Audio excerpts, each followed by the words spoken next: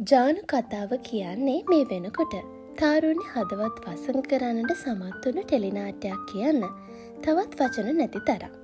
ඉතින් මේ වෙනකොට ජානු කතාව අවසානය කරා ලංවුණත් මේ දවස්සල තමයි ජානු කතාවේ හොඳම හරිය පටන් අරන් තියෙන්නේ. ඉතින් ඔයාල දන්නවනේ තවමත් අල්පොන්සු දන්නේ නෑ ඇත්තටම ජානුවේ සහසු අතර සම්බන්ධයක් තිබුණද නැද්ද කියලා. ඉතින් කොහොමින් කොහොම හරි මේ සතියේදී ඒදේ අල්පොසු දැනගන්නට නීමිතයි. ඉතින් ජානු පසුගිය කොටස්සරින් ඔයාල දැක්කා. ජාන සහස්කින් අහනවා ඔයා නෝරට ආදරේද. ඔයා නොරව කසාද බඳිනවද කියලා. ඉතින් ඒ හප ප්‍රශ්නයට සහස් ඔවු කියලා කියපු නිසා ජානු ගොඩාක් හිතින් වැටෙනවා ඔයාලට බලාගන්න පුළුවන්. ඉතින් ඒ නිසාම තමයි තමන්ගේ හිතේ තියෙන ආදරය සහස්ට කියාගන්න බැරි තැන ජානු කංග ළඟට යන්නේ. ඉතින් මේ කොහොමන?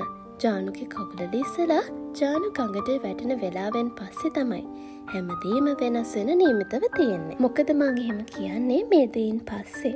අල්පොන්සු දැනගන්නවා සහස් ජානු ආදරය කරනවා කියලා.